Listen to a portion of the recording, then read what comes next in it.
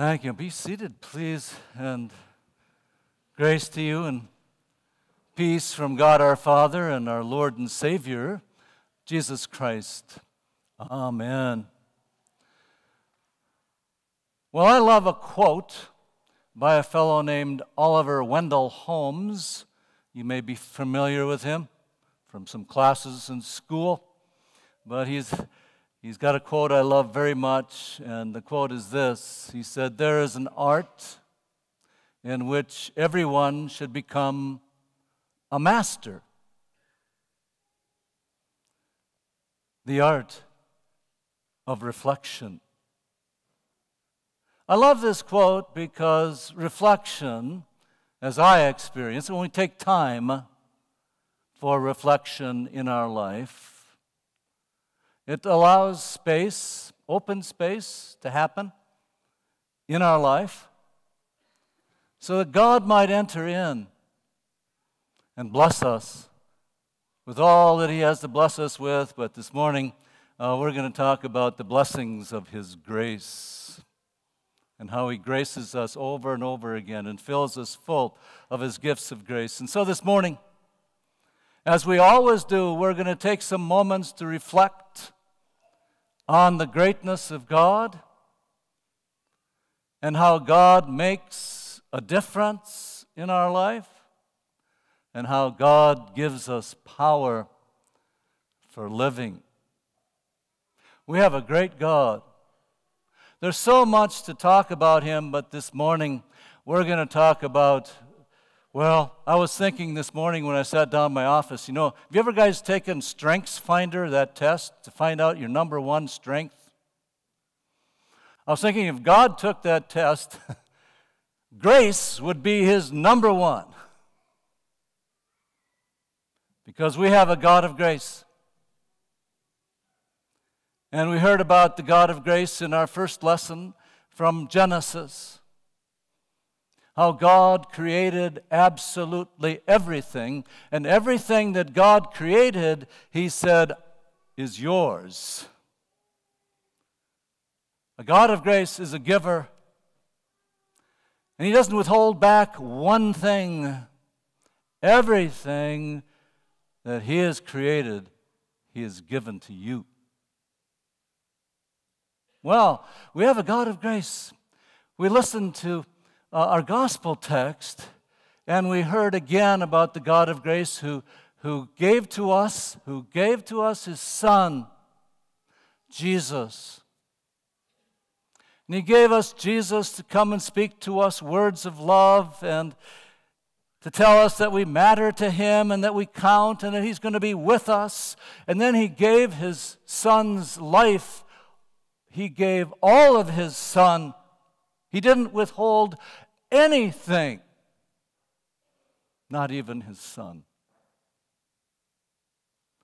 He gave his son to us on the cross.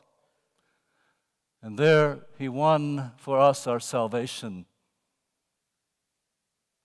and the promise that we'll be with him today and forevermore. God is a giver, God is graceful.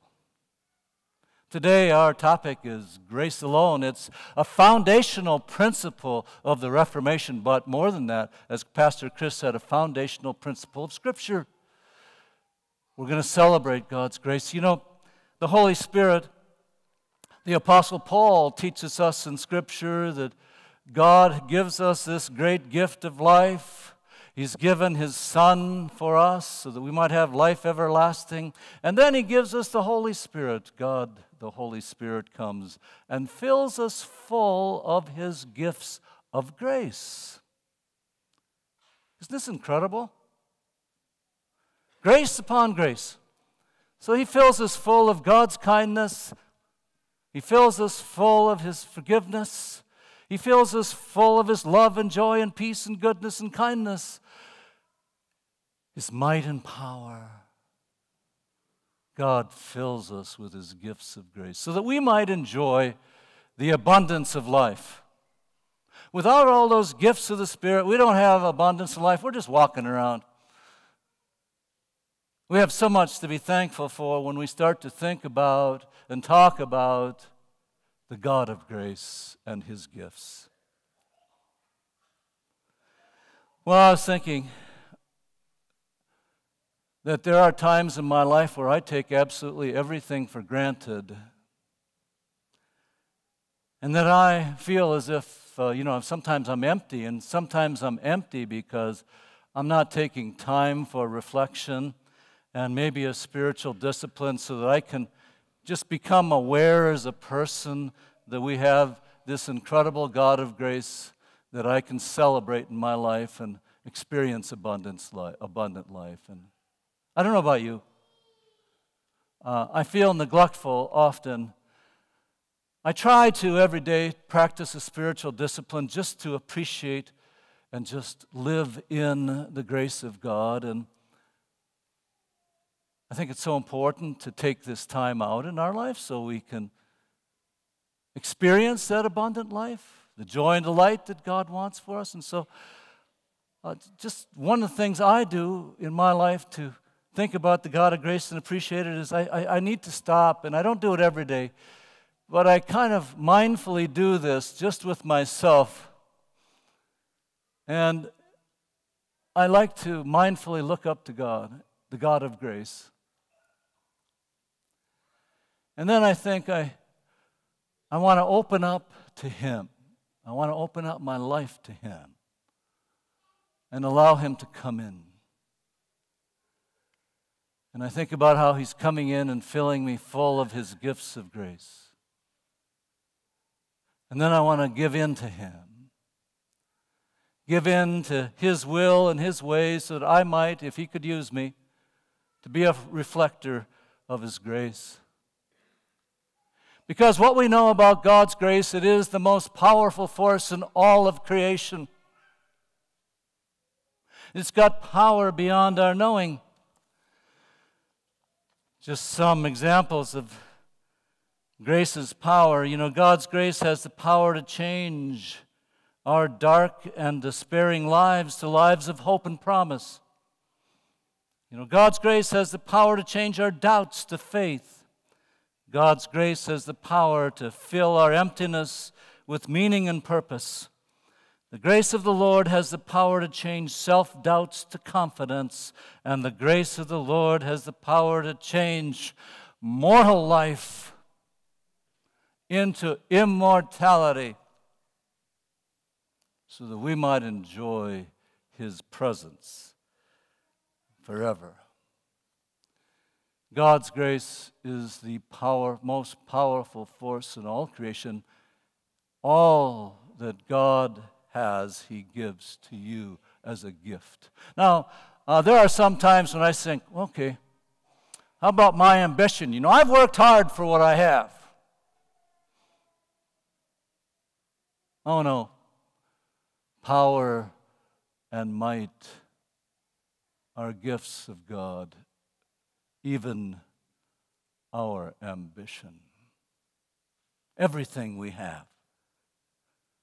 I mean, everything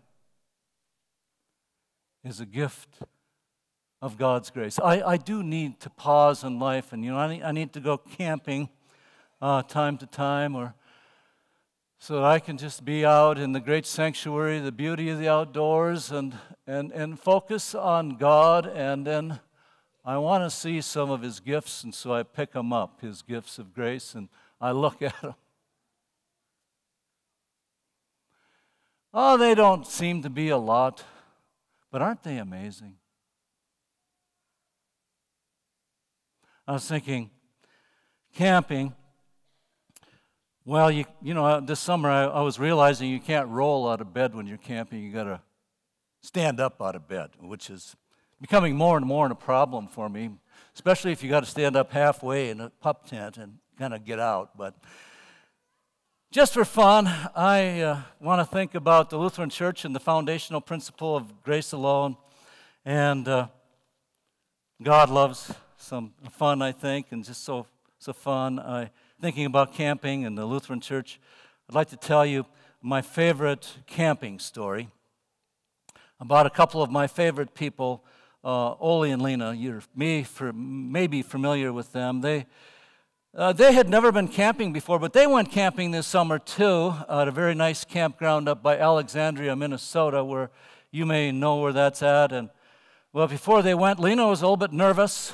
Uh, she'd never gone camping before, a bit worried about the toilet facilities. And so she thought that she would get in touch with the campground owner and ask about the toilets, but she thought, I can't say that word, not on the phone.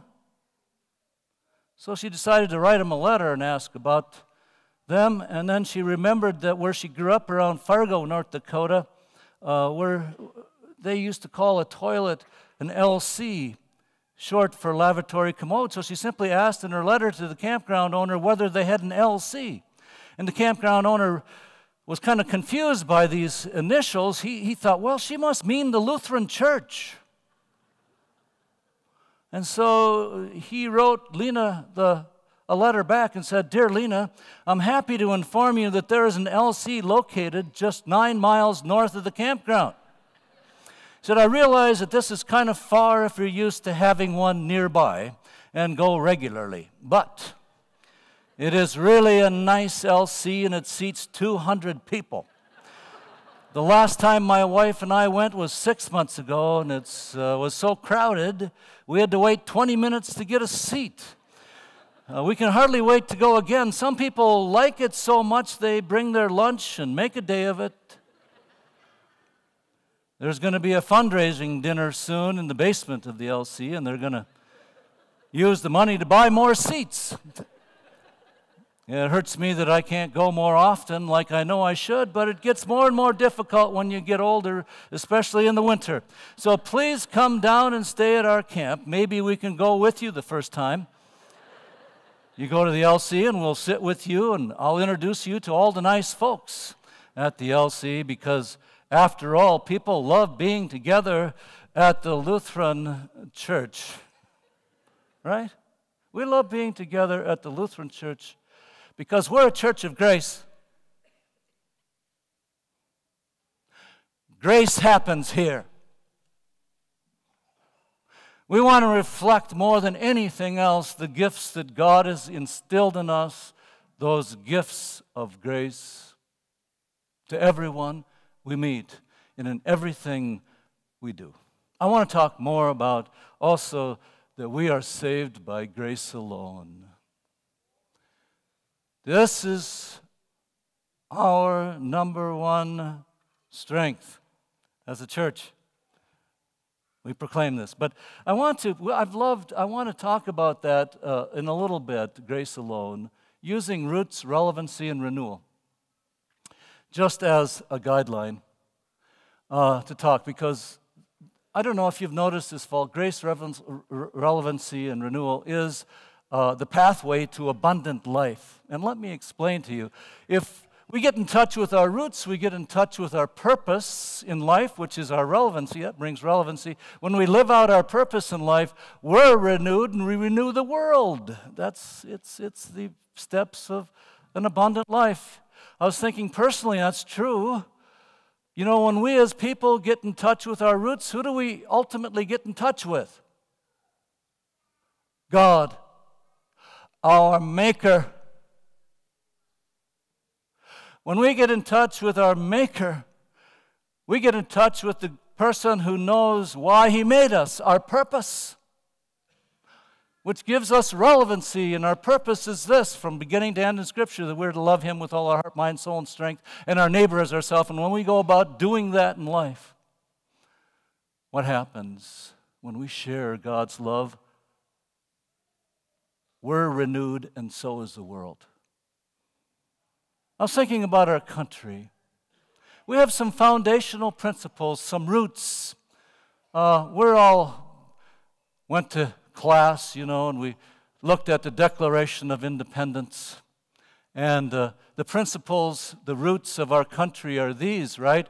It was established so that we might have a life, liberty, is that it? And the pursuit of happiness. Declaration says that we were created by a creator who gave us rights. The right for life, and life is sacred, and we'll protect it. no matter what. We hold life to be sacred. We have liberty, freedom. We believe that God created us. Read the Declaration that all should live in freedom. And so we protect it and we fight for it. It's what brings our life relevancy as a country. Pursuit of happiness, we can define that in many ways, but the opportunities God wants us to have. He wants us to become everything He created us to be. He wants us to have the freedom to become that. Isn't that incredible? Roots, relevancy, and renewal is the steps to abundant life. This is true for our church as well. Our foundational principle upon which we were built is that we are saved by grace alone. Before the Reformation, it was believed and practiced and taught that we were saved by works righteousness. That somehow we could work our way to heaven or buy our way to heaven. Maybe we could talk our way into heaven. Uh, no. Scripture says it's by grace alone. Luther claimed this when he discovered it uh, for him in his own life that he was saved by grace alone. He said, It's only for us to believe it, it's a gift. And then he went out into the whole world, risking his life proclaiming that we are saved by grace alone. And you know something? There's a slide that I want to show you right now. It's from Worms, Germany. It marks the spot where Martin Luther was put on trial for taking a stance that we are saved by grace alone. He was tried by princes and kings and by popes, and he was asked to recant his stance on grace alone. And he said, I cannot. Here I stand. He was that day declared a criminal. He was now free to be done away with by anyone who desired. Luckily, he was saved to the Wartburg Castle. Our roots, grace alone. Our relevancy, take a stand. Stake your life on it. That it's only by Christ alone on the cross that we are saved. And share it. And as you do, you will be renewed, and so will the world. God's blessings to all of you. May God continue to grace you moment by moment. In Jesus' name, amen. We're going to continue to worship this morning as we sing.